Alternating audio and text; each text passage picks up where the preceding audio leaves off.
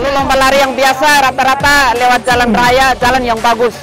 Tapi ini kebanyakan lewat alam yang benar-benar uh, off-road. Jalan yang jalan setapak maupun pantai hutan yang benar-benar sulit.